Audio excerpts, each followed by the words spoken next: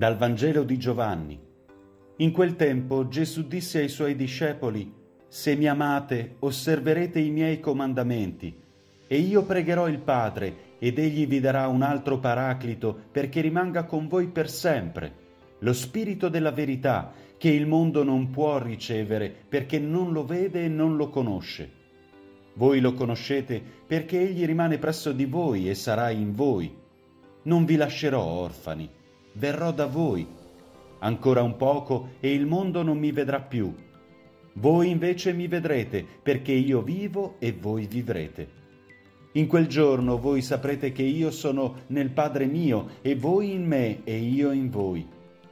Chi accoglie i miei comandamenti e li osserva, questi è colui che mi ama.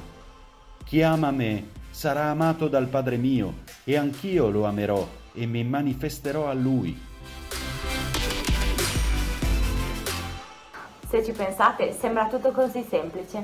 Basterebbe semplicemente amare Dio e Lui abiterà nel nostro cuore. Alla fine, seguendo questo Vangelo, è semplice.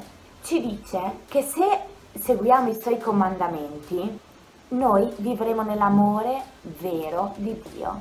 È come se Gesù Cristo, prima di andarsene, ci avesse dato un libretto di istruzioni e ci avesse detto guardate ragazzi, se voi seguite questo vivrete con me per sempre.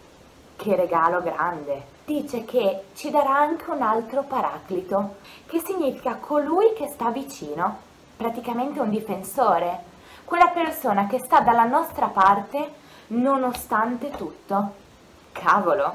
Lui ci consegna un kit per amare veramente Dio e così amando Dio amiamo anche gli altri.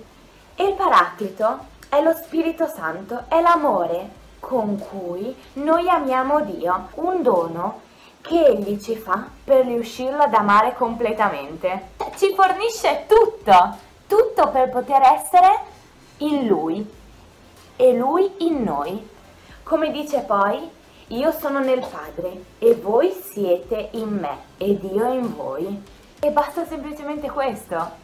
Non ci lascia mai da soli, ci consegna qualcosa per poter essere sempre in Lui e Lui in noi, Dio abita in noi, nonostante tutto, nonostante i nostri errori, nonostante le nostre malizie, nonostante tutto quello che combiniamo. Lui ci accetta per come siamo.